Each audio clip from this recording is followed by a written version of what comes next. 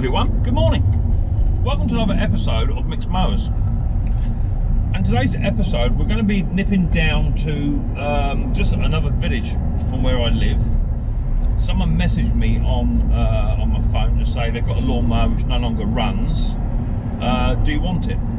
So I'm a bit, always a bit sort of careful now with what I pick up because I think due to the pandemic, so many people just throwing away their old junk mowers, and I mean junk mowers. You know, they've got big holes in the deck and this, that, and the other, which is all good for spare parts. But there's only so many spare parts I can take. You know, so many SB150 engines and what have you. So I'm always a bit trying to be a bit careful. So we'll send me some photographs. I'll have a look. And uh, it's got a plastic deck on it. Uh, it's got a grass box. Uh, the engine's all it's all complete. It just, just doesn't run. Um, but he didn't send no photographs over. So I don't quite rightly know what I'm walking into, but you know, if he says it's all complete, it's got a plastic deck, no damage, the engine doesn't run, then um, to me that makes sense to at least go and, go and pick it up. So we're going to shoot over to um, Aldwick, which is just um, a stone's throw from me. I think sat now it's about five minutes, so it's just just through town. I've just been down to the post office to go and drop off uh, this week's um, guess what it is winner prizes off my live stream, which I run on a Saturday night, uh, 6.30 uh, UK time. So nip over to Aldwick, go and pick up this lawnmower, and when we get back, we'll have a quick little look at it to see what it looks like. And then uh, we'll go from there. Is it going to be an absolute pile of pile of muck, or is it going to be an absolute stonker? You, do, you just never know, do you? So just about to pull up now. I'll have a quick little look at it, and then we'll go from there. See you in two ticks.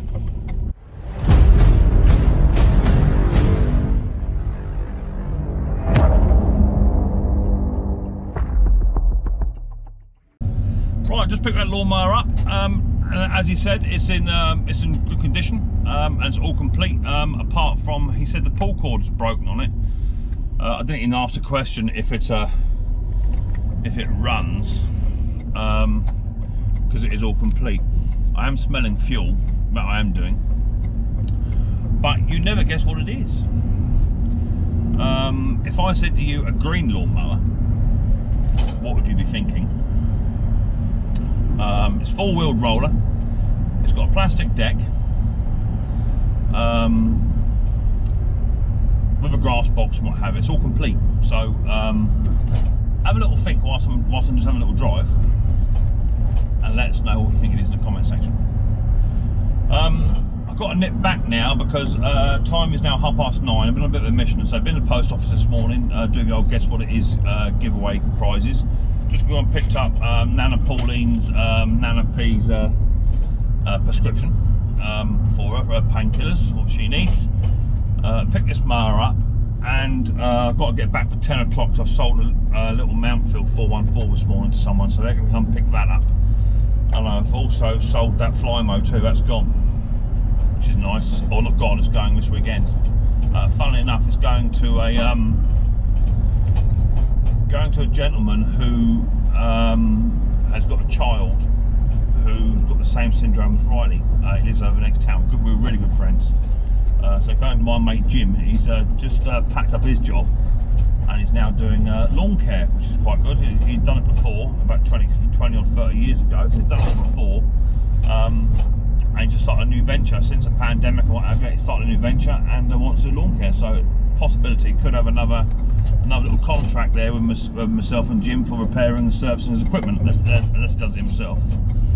Um, but there you go, uh, could be good. So yeah, the Flymo's now gone with that Tecumseh engine on top, and um, I've now picked up this one, got one sold as well. So things are starting to move. Um, on another note, um, I'm hoping, fingers crossed, I'm hoping I might have actually found um, a roller seat uh, for um, the Dennis.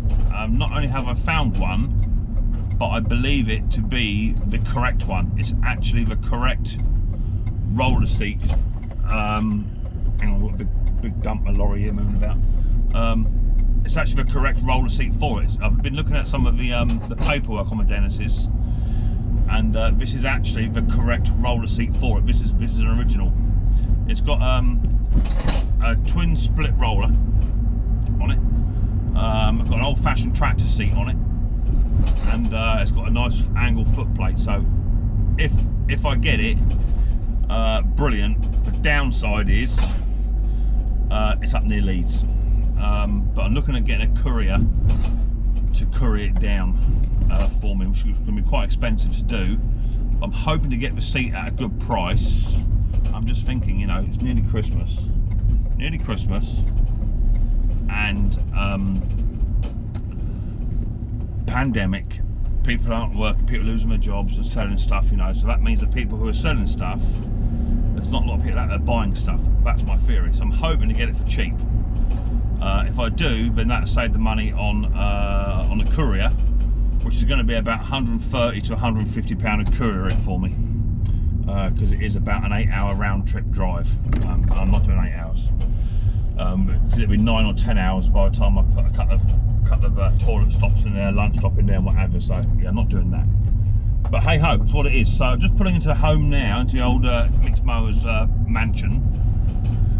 We'll off over this little mower and we'll have a little look, first impressions, and see what's up with it, and then we'll go from there to see in a tick. Right, so just picked up this uh, this lovely green lawnmower. Uh, any guesses as to what it is yet? Let's have a little look. What do you reckon it is? It's a Power Force. Yay! Oh, that ain't very good, is it? A free Power Force with a Decamish um, lawnmower on top and uh, engine on top, and all it looks like the pull cord's gone at the moment. But uh, we'll get around that in a bit, see how we get on. Um, it's all complete. He didn't tell lies. It's all complete, but uh, yeah, it's got one of them funny upside down engines on it. Right, let's have a look at it. Okay, um, so all I've done is I've taken out the um, one, two, three, four bolts there, they're 10 mils, an 8 mil up here and 8 mil on the side. I've took the pull cord off just by tipping it up this way and it comes out and just rethreaded a um, a pull cord on there. What I do is I put a, a, little time lapse on how to uh, how to do that so you can see me do that. So I've got a brand new pull cord in there. About seven feet of pull cord you're after okay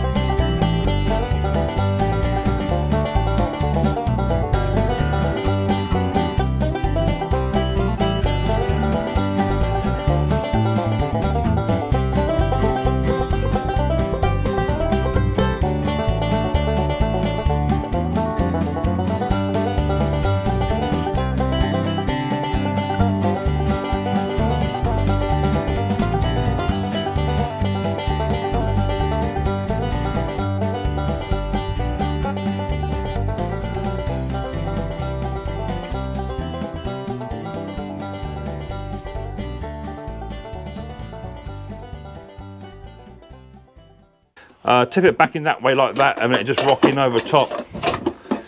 If you don't tip it down here, there's a bit goes under under the flywheel here. If you don't uh, tip it on, it won't it won't fit. Is that it? Something like that. There you go. That's on. So now what I do is get me 10 mils. And I have found with these Tecumsehs, if you wind them all the way home tight, right, um, it tends to pinch the um, the housing up against a flywheel and it never ever uh, recoils again properly um, until you loosen them off. So I found with the Tecumseh, uh, just loosey goosey. So do them on, give them a little tiny, a little tiny bit of a, an impact, and then uh, oh hello, and then you'll be uh, you'll be good to go. But if you go do them up too tight, then there is a risk that um, the housings crimp and you won't be able to uh, to get the pull cord to run right. So just want to run these 10 mils in by hand. Let's see what I'm doing here. So we're not the best fitting on these machines. Come on, baby.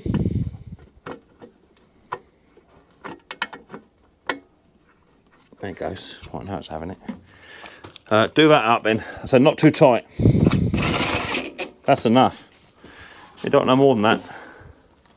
It's all the way. It's all the way home.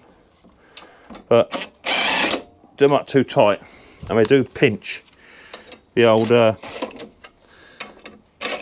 assemblies. Okay.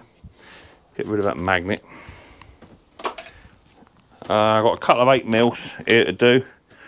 Let's put this tank on. That's just going to sit. There's two little tiny grommet tabs that sit over the back of the pull cord assembly. That then sits down, and that little tiny 8 mil there on the back of that.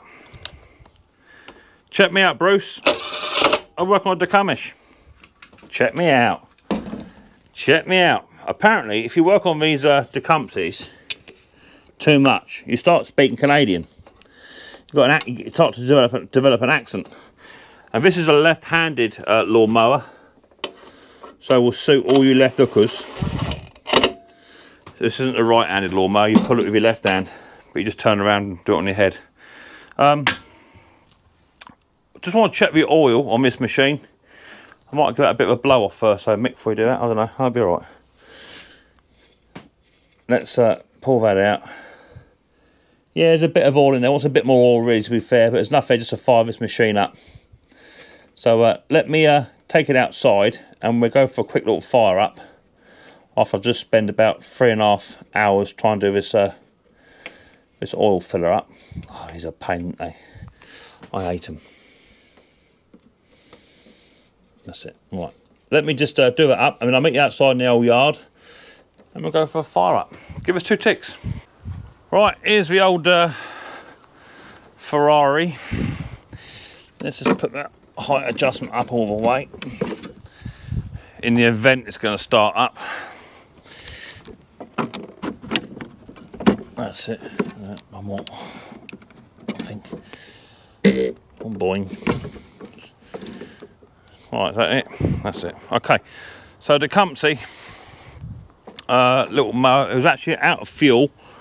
I've got a bit of a fuel hose leak. I can see a bit of a fuel leak going on. I can see that. Uh, nothing, nothing massive. Let's get some pumps in. See what we get out of it. It might need a carburetor clean yet. We don't know, do we?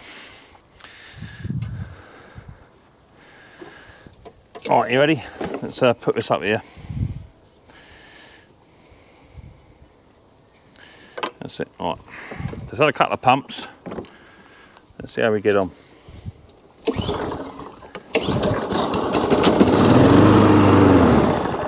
There you go. That fired. It didn't like running. Let's go again.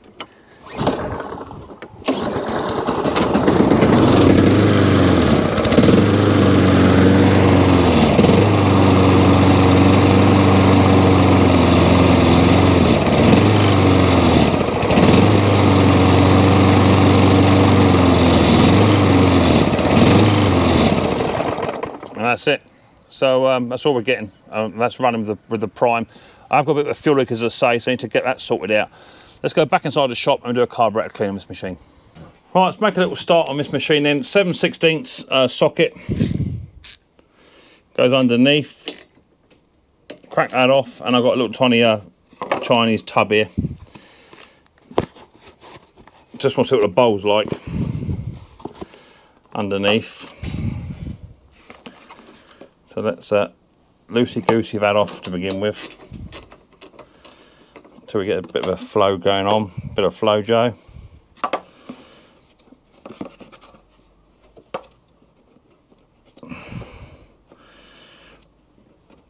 Come on, baby.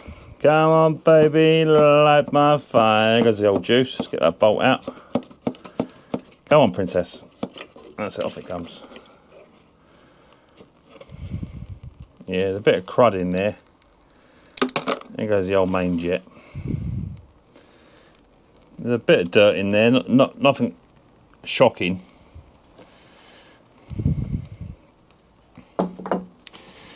But uh, I don't really want to take this all apart, you see. That's the, that's the idea.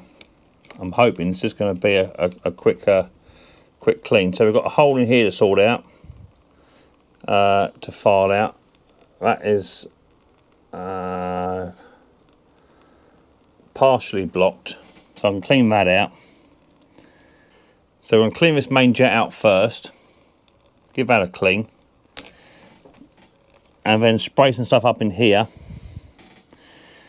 to try and uh, clean all that out and then we go from there. So let me get the fuel out. I'll come back in two ticks and we'll have a quick little clean to see if I can't get away just doing a, a quick and dirty. Whilst, whilst the carb's still on, take the uh, take the needle out as well. Okay, that'll just uh, help in the flow and also I'll give it I'll give it a bit of a clean up as well. Once all this fuel's come out, I'll give it a bit of a clean up. Um, spray some WD-40 up in there and all that sort of good stuff. I've got to sort out that fuel leak yet as well. Uh, I should probably just remove the uh, the clamp. It's probably got a split in it somewhere. In fact, I can see the split from here. Yeah. So I can do that. How much fuel left to go? Oh, a little way yet. So uh, let me get this forward fuel drained. Um, I can repair this fuel hose, so that's probably not helping. Um, and then uh, I'll give this carb a quick little clean, and then uh, I'll come back to you uh, as and when I do different steps. Right, that's just dripping now. I've got most of the fuel out. Just going to remove this air filter as well because this air filter is actually part of the priming assembly on these uh, on these uh, machines from machines from Satan. Um, this screw in particular I'm taking out now. If that's not in, uh, your carburetor won't prime. I don't know if you knew that or not. I did. I'm sure someone told me. Uh, that on there, yeah, if that's not in, uh, then it won't prime. Uh, so I've got two of them to do one uh, is easy accessible and the other one is a, is a message from Satan himself around the back here. I do actually secretly hate these machines. So I take the air filter off, right? That'll, slide out with ease once you manage to get your finger around here and mug about with it. Where is it? Is.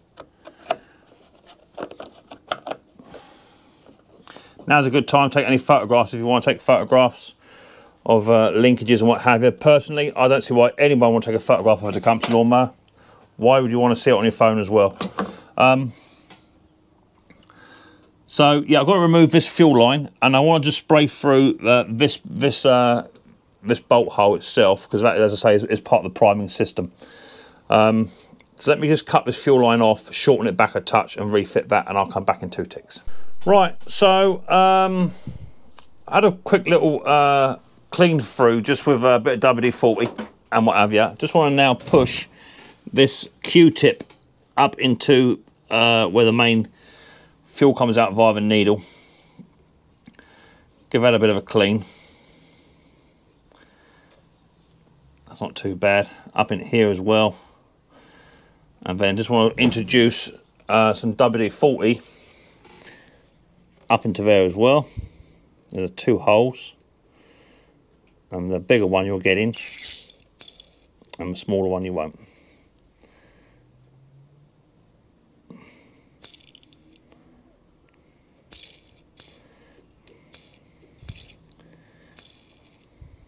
There it is.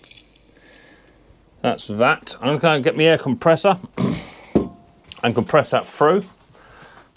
Don't go too mad because you don't want to blow that seal out. So I tend to push push the seal in, the prime bulb in, and then blow it. I just uncover the hole slightly. That's that one. The straw. And then up into here.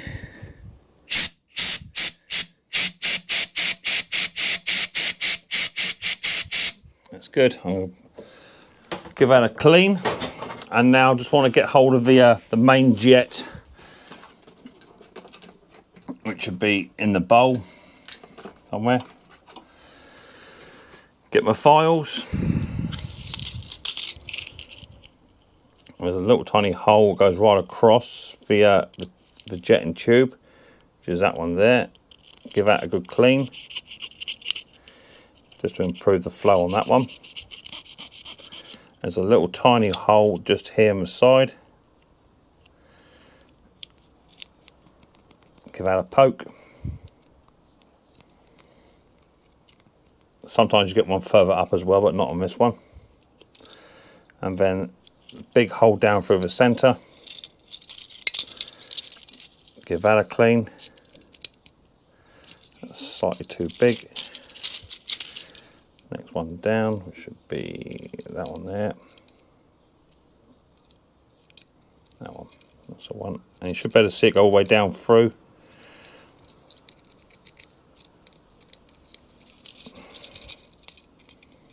There it goes. Yeah, nice big hole in there. Get rid of my files, get your WD-40 spray or carb cleaner, whichever you use. And then run that straw down through. See it come out. And you want to come out that little hole there too on the side there, just here. Run it all the way through the hole the back of this side. And then hit that with your air compressor as well.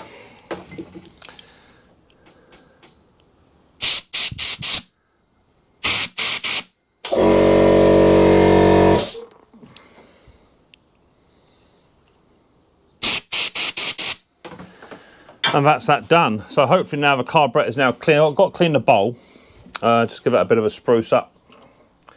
That's no biggie. There's just a little bit of gunk in there. Nothing, uh, nothing too strenuous, as I say. Bit of wire wool on that. We'll soon bring that back. And I'll reassemble this carburetor.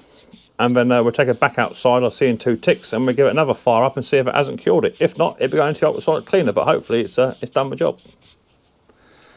Right, that's the carburetor now cleaned. Hopefully we'll, uh, we'll made a bit of difference. Put a bit more fuel in. Um, the fuel leak's now been sorted. It had a bit of a fuel leak that's now been sorted out. So let's give it a, some pumps. Let's see what we don't get this time. I want it to run to be nice.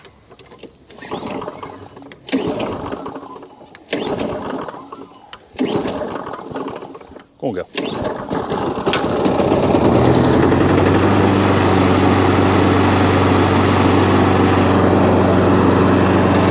you go.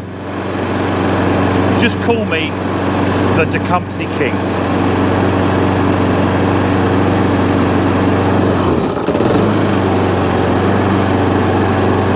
Not hunting, which I'm surprised about. Doing everything it should do little push mower, got it for nothing, new pull cord, good to go. Okay, there you go. That's that little Tecumseh uh, lawnmower. I think it's a um, a pro. Uh, a, uh, no, it's definitely not a pro lawnmower. Power Performance or something along that line. Uh, originally out of B&Q, or something like that. It's quite an age. Uh, just goes to prove I can fix pretty much anything. If I can fix the Tecumseh, get them running right, then I must be on a, on a track to doing something good. I hope. I really, really am just not, not keen on those machines, only because you need a plethora of tools to get them working. I know that Brucey Boy absolutely loves them, I get that. Um, but uh, I'm not overly keen. But there you go, uh, a free little lawnmower, uh, cost me nothing, just five minutes around from my door, new pull cord, carburetor clean, and uh, away it goes. It's now on its test because uh, because I don't like the machines and they're quite unreliable. I, I, I've, I've found them to be. Uh, that begin the, its full 15 20 minute test, full tank of juice, and just run and run and run until something shows up. If nothing shows up, I should test it again tomorrow morning and then put it up for sale, and uh, hopefully that'll be gone just before Christmas, which would be ideal. I'm still selling stuff. Uh, at the moment, we're just in the middle of um, November, and I'm still selling mowers even now. People are still cutting grass because the season's still quite mild, and uh, people are still buying little cheap mowers. That only go for, for not a lot of money, not at all, you know, but it's, it's a quick, easy little fix, and just turn it around and boom, away it goes.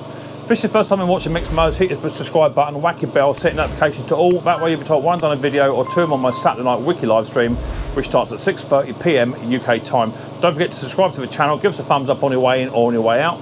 I look forward to seeing the next episode of Micks Mowers very, very soon. But until then, people, don't forget, much more importantly, take it easy.